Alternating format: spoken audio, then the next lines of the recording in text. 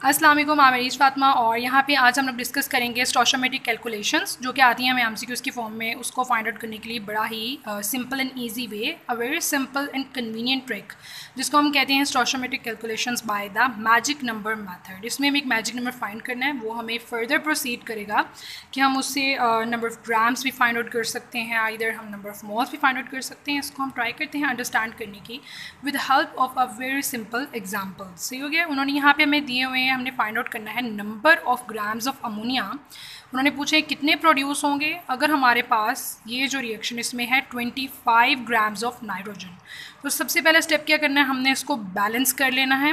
Balance करने के बाद हमने करना है, यहाँ पे इन सब के साथ हमने एक्स एक्स लगा लेना है। सही हो गया? उसके बाद ये जिसका उन्होंने हमें गिवन मैथ दिया हुआ है, इसके लिए हम एक्स की वैल्यू क्या करेंगे? फाइंड आउट कर लेंगे। यहाँ पे जैसे हमने पहले एक्स एक्स लिख लिया है ठीक हो गया?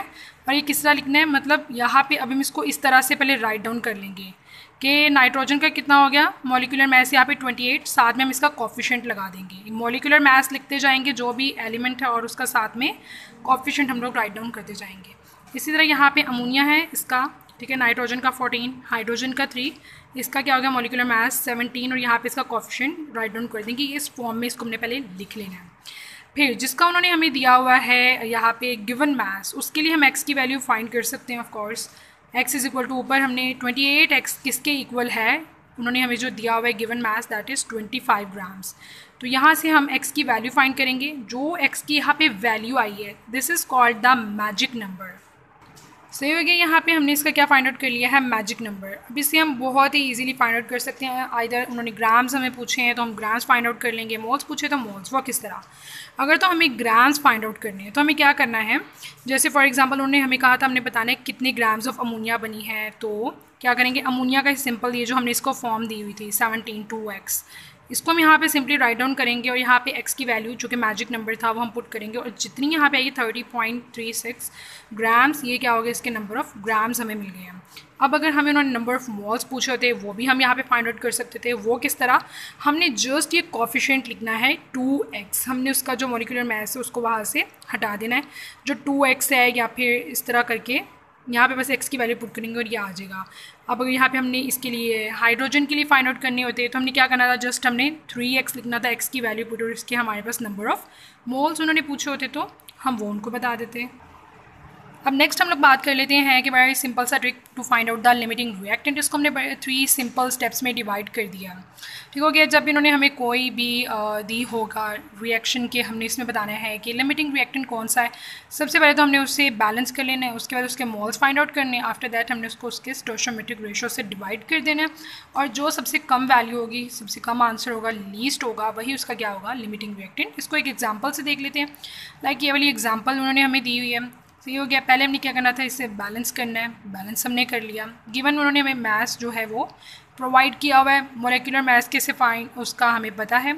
और इसके नंबर ऑफ़ मॉल्स हमने सेकंड स्टेप था फाइंड करनी है। सिंपली क्या करेंगे? मैथ्स बाय मोलर मैथ्स ये इसके आगे हैं number of moles stoichiometric ratio क्या होगा? जो इसका यहाँ पे कॉफिशेंट है, इसके साथ लगा होगा। That is called the stoichiometric ratio यहाँ पे हमारा थर्ड स्टेप क्या था? डिवाइड करना है नंबर ऑफ़ मॉल्स को बाय द स्टोशोमेट्रिक रेशो को। So here are the number of moles like one okay we have to divide it with the stoichiometric ratio of it here one and यहाँ पे hydrogen के लिए twelve इसके थे number of moles इसको divide हमने कर देना है थ्री इसका स्टोशोमेट्रिक रेशो है इससे।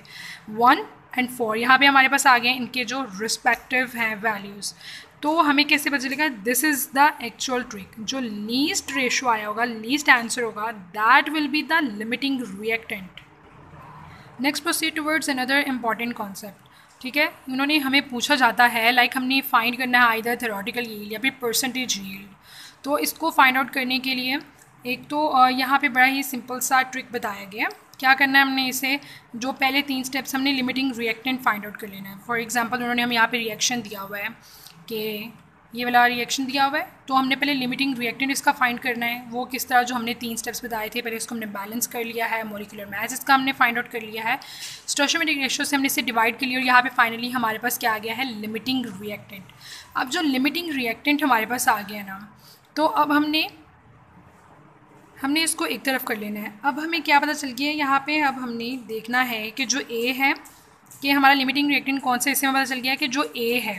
सही हो गया, जो हमारा ए रिएक्टेंट है that is the limiting reactant उसको जो नंबर ऑफ़ मॉल्स है, उसको हमने कंपेयर करना है with the number of moles of our like product सही हो गया, यहाँ पे इसके कितने नंबर ऑफ़ मॉल्स थे इधर? टू मतलब टू ए होंगे तो one A two B three बनेगा। इसी तरह यही यहाँ पे लिखा हुआ है ना कि टू ए होंगे तो one A two B three बनेगा। जब भी हमारे पास ऐसा कोई एम सी क्यूज़ आएगा, हमने उसे सबसे पहले वन कर लेना है। देखो हो गया वन कर लेंगे तो बड़ा इजी होगा। जितने भी नंबर से हमने उसे लाइक एट मोल्स में फाइंड करना है तो यहाँ पे हम उसे एट से मल्टीप्लाई कर देंगे ऑन द बोथ साइड्स और फाइव से करना होगा तो फाइव से मल्टीप्लाई कर देंगे वेरी सिंपल तो यही हमने यहाँ पे किया है। टू को हम यहाँ पे ले गए हैं। इसको पहले हमने कर लिया वन मोल होगा। इसका तो इसका वन पॉइंट टू बनेगा। फिर एट के लिए फाइंड आउट करना है। एट मोल्स ऑफ़ ए होंगे। तो इसके कितने बनेंगे?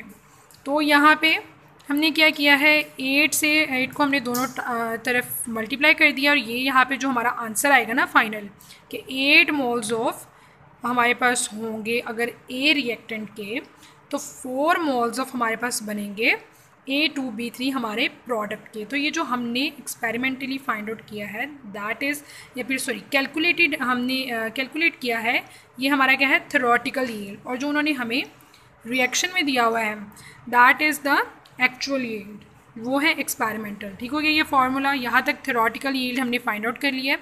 और अगर हमें फाइंड आउट करना है क्या इसका परसेंटेज यील्ड वेरी सिंपल ये फार्मूला हमने अप्लाई करना ऊपर एक्चुअल यील्ड वो होगा जो उन्होंने हमें खुद दिया हुआ है। एक्सपेरिमेंट यू थेरोटिकल वो है जो हमने खुद कैलकुलेट किया है फाइंड आउट किया है, इनकी बस वैल्यूज़ पुट करेंगे मल्टीप्लाई बाय हंड्रेड और इससे यहाँ पे गिवन रिएक्शन का यील्ड हमारे पास आ गया है सेवेंटी फाइव परसेंट तो क्या हमें पता चला यहाँ पे हमने सबसे पहले उसका लिमिटिंग रिएक्टेंट आइडेंटिफाई करना है, फिर वो जो रिएक्टेंट होगा हमारा लिमिटिंग रिएक्टेंट उसके नंबर ऑफ़ मॉल्स को हमने कंपेयर करना है with the number of moles of our product and we will finally get our theoretical yield and we have to find out the percentage we just have to put the values into the formula and will get our answer thank you